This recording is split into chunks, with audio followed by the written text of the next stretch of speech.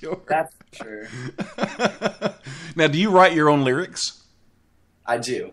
You know, I am so impressed with all of your stuff. I mean, I get it makes me smile when I listen to it, and you can't help but move a little bit when you when you listen to.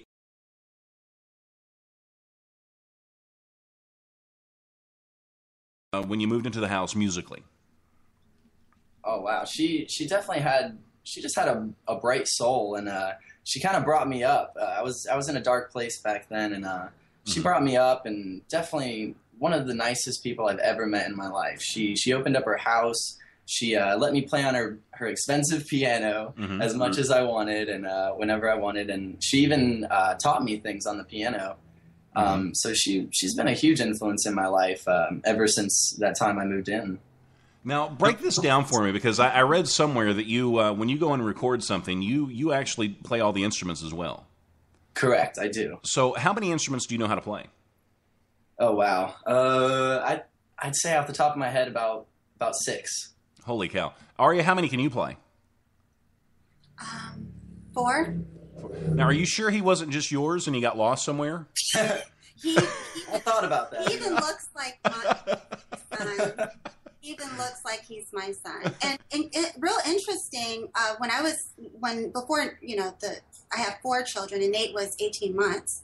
When I was pregnant with Nate, I I was accepted at a I got a scholarship for a music program at the community college. Oh, cool. That's when I had gotten back into music, and so I was right before Jesse moved in. I was playing, and I was playing and gigging out uh, eight hours, a, eight hours a day. Sometimes I would practice four hours a day to eight hours a day.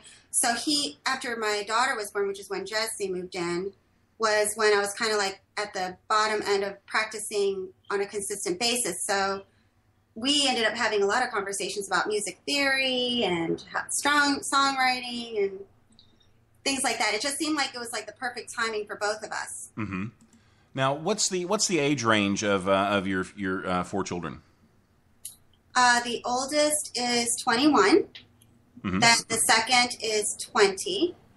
Then Nate is seven, and Gianna just turned six. Aw, so you're you're a busy play- mom. All of them play music. That was that was my next question.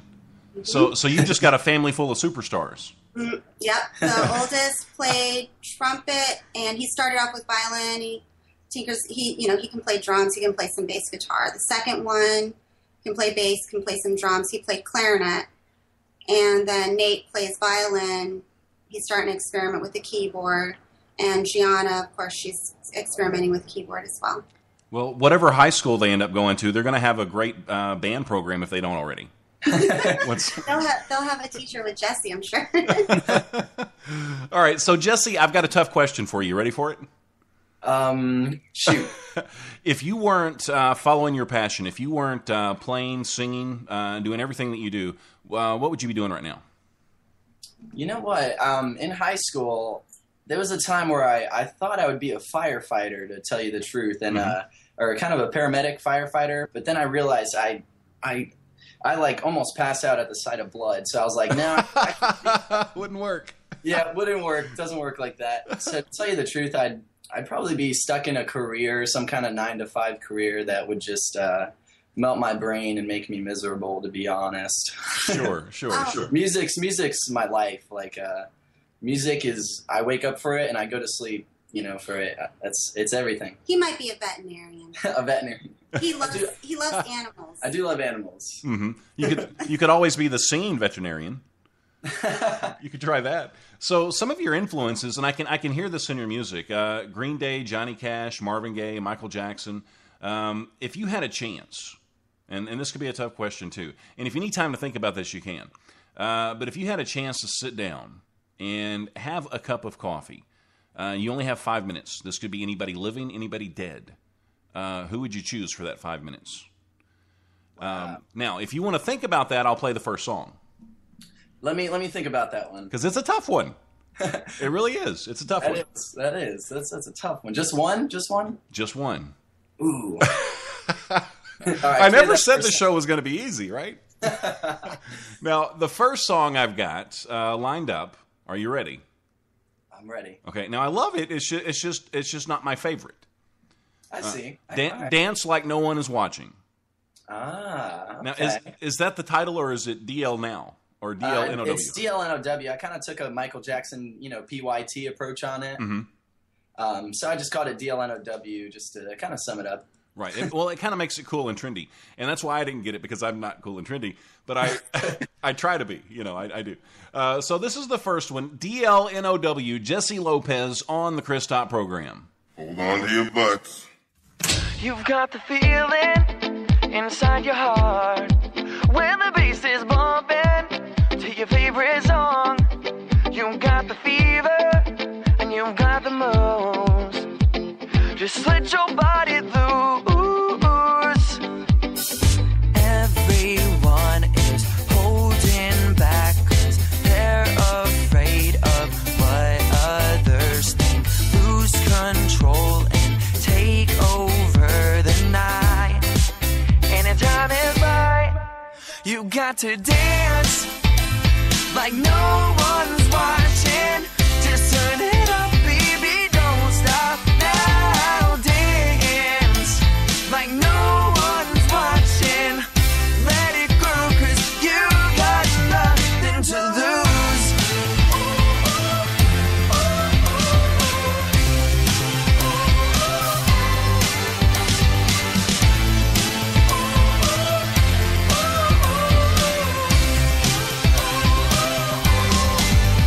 Turn it up now and make a spark. Set flame to the dance floor. Touch your body like that's hot. You've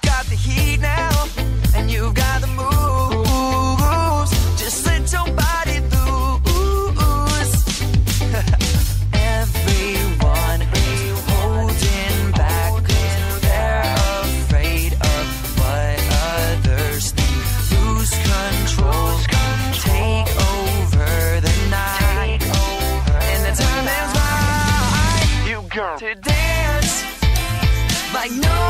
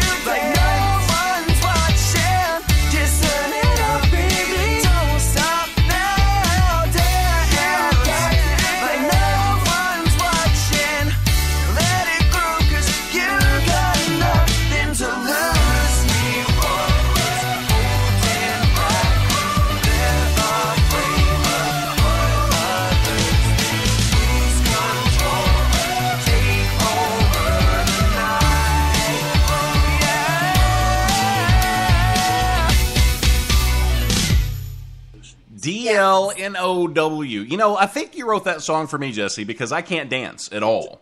I can't. and you, me and you both, Chris. If you can wiggle, you can dance. I can wiggle. I can wiggle, but I think people might turn the other way. So it would be like I was dancing like nobody was watching. So, so where did the inspiration for that song come from, Jesse? Oh wow. Um, well, definitely, I, I can't dance for squat. Okay. Um, you know, I think I think everybody a little bit when they're at home and they're alone, you know, just sitting in their underwear and listening to music, Mhm. they they look in the mirror and kind of dance and pretend like uh, you know they're Right. they're the next Michael Jackson. Sure. At least sure. at least I do, and uh, I know I, I can't dance for squat, so I was like, you know what, I'm gonna make a song that kind of makes you feel empowered to just dance and get up and not care.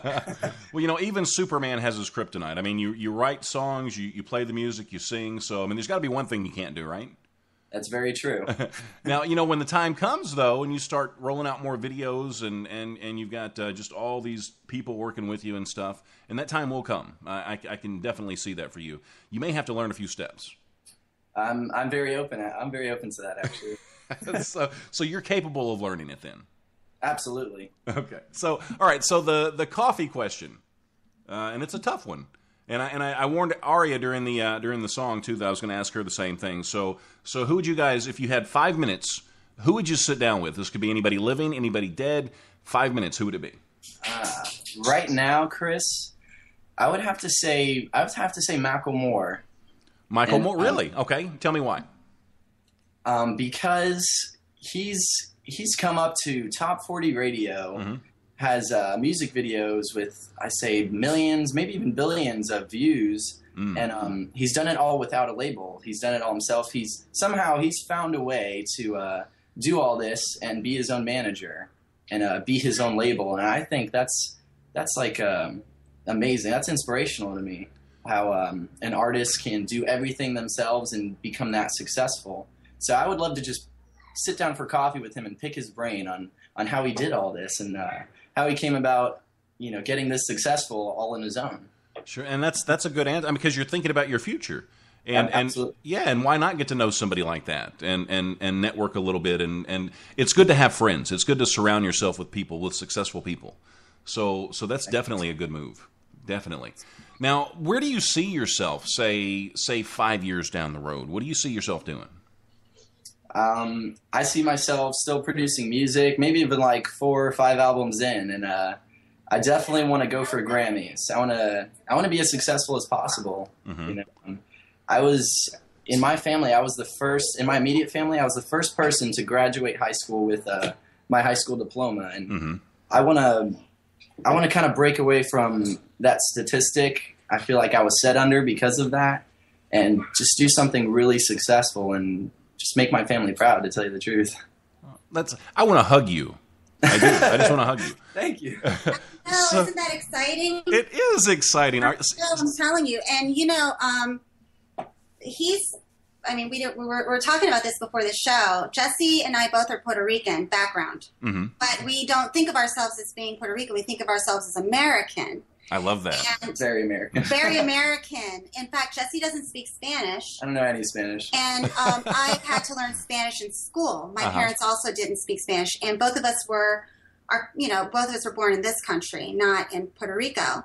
And uh, what's really funny is most uh, there's a lot of Hispanics, especially Puerto Ricans, though, that don't graduate or go to college. Less than one percent go to college. So Jesse's Wow. Done really well for himself despite his obstacles. Sure, and what an inspiration! Not not just for for anybody with a, a different ethnic background, but just for anybody.